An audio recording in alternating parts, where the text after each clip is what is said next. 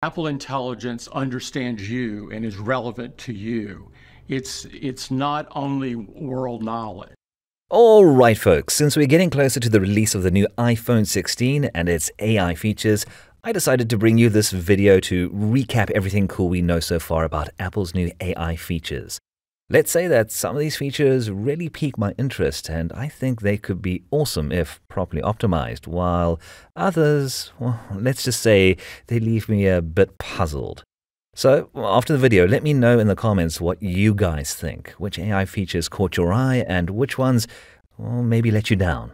First and foremost, here's the list of the iPhones that will get the iOS 18 upgrade once it's widely available iPhone 15, iPhone 15 Plus, iPhone 15 Pro, iPhone 15 Pro Max, iPhone 14, iPhone 14 Plus, iPhone 14 Pro, iPhone 14 Pro Max, iPhone 13, iPhone 13 Mini, iPhone 13 Pro, iPhone 13 Pro Max, iPhone 12, iPhone 12 Mini, iPhone 12 Pro, iPhone 12 Pro Max, iPhone 11, iPhone 11 Pro, iPhone 11 Pro Max, iPhone XS, iPhone XS Max, iPhone XR, iPhone SE, second generation or later.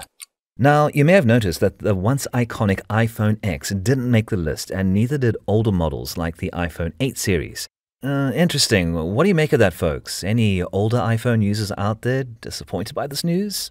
Now, let's have a look at what Apple is calling Apple Intelligence, because this isn't just a rebranding of Siri or a minor update, because it's a full on overhaul of how AI is integrated across Apple's ecosystem.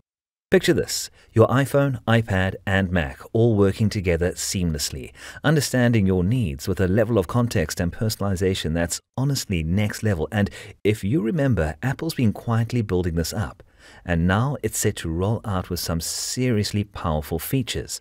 But what's really intriguing is how Apple is balancing this AI power with its trademark commitment to privacy. On device processing, folks, that means your data stays yours even with all these advanced capabilities. This brings us to Siri, because it seems that Apple's given it a serious boost with these new AI features, but I know what you're thinking. Siri's been around for a while and we've seen it evolve bit by bit. But, you know, this time it seems that Apple has really gone under the hood to make some big, big changes. First off, Siri's natural language processing has been upgraded to the point where it feels like you're having a real conversation and not just barking commands at your phone. Imagine asking Siri to pull up that article you were reading last night, and it just knows which one you mean, even if you only half remember the title. Basically, it's not just about understanding your words, but it's about understanding you. Then Siri can maintain context across multiple interactions. So if you're planning a trip, it can help you pick a destination or book a flight, and even remind you to pack your charger, all in one smooth flow. But here's where it gets even more interesting, folks, because Siri also got a brand new look. And when it's active, you'll see this sleek, glowing light around the edge of your screen, which is, I guess, Apple's way of making the experience feel a little more human and a lot more modern. Yet another cool thing, uh, although this does take a little bit of time, if you prefer typing to talking, Siri's finally got you covered here too, and you can switch between voice and text without missing a beat, which is perfect for those moments when you know you need to be discreet. Now, guys, here's something that really caught my attention because Siri can now take actions based on what's on your screen. So let's say a friend texts you their new address, and instead of copying and pasting it into your contacts, you can just tell Siri, add this to John's contact, and boom, it's done. It wouldn't surprise me if it's these little things that make a big difference over time in how seamless your day to day tasks can become. And with hundreds of new actions that Siri can handle across Apple and third party apps, it's clear that Apple's aiming to make Siri your go to assistant for just about everything. But you know what, folks? As exciting as this all sounds, I can't help but wonder will it live up to the hype? Or will we still find ourselves repeating commands until Siri finally gets it? Well, only time will tell. But as always, I'm interested to hear what your take on this is. Now, folks, moving on to something that's both fun and um, I would actually say practical. Let's talk about Genmoji and the new image tools Apple's rolling out. So here's the deal because with Genmoji, you can now create these hyper personalized emojis based on a photo or even just a description. Basically, imagine typing in smiley with sunglasses chilling on the beach, and bam, your Genmoji is ready to go and capture that exact vibe. Then Apple's also taken the Photos app up a notch because now you can search your photos using natural language like um, find that picture of my dog playing in the park, and it'll pull it up in seconds. Plus, folks, the new cleanup tool is a strong feature. Basically, this tool can automatically remove those random photo bombers messing up your perfect shot while keeping everything else intact. And I think it's pretty cool. Then, if you're into creating memory movies, Apple's got you covered because now you can just type a quick description like, All the desserts I had last summer.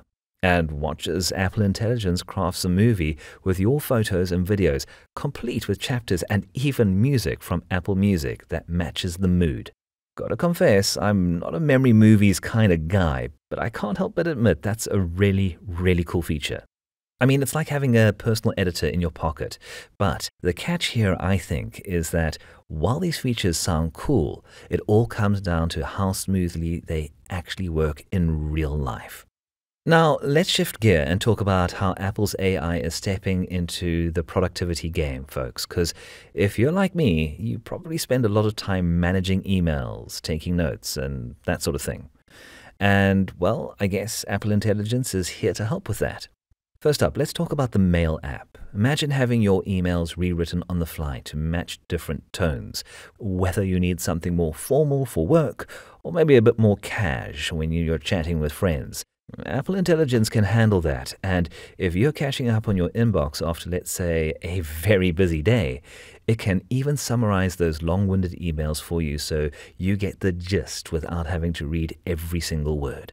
Then the Notes app has also gotten a serious upgrade, and it's pretty cool as well, because you can now solve math problems directly in your notes, or if you're more of a visual thinker, you can convert your rough sketches into polished AI generated art. And here's a feature that's a real standout for me. You can dump text from another app right into your notes, and Siri can even help you do that.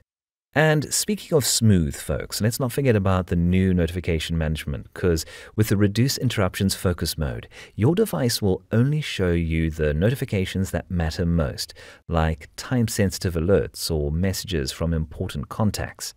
My take is that some of these little tweaks can make a very big difference because they can help you stay focused on what's important without getting sidetracked by every single ping. All right, folks, let's just get this out of the way. As impressive as these features sound, the real question is how well they integrate into our daily routines. I mean, will they make us more productive or will they just add another layer of complexity? I'm curious to see how this plays out, especially with Apple's track record of making things both powerful and user friendly.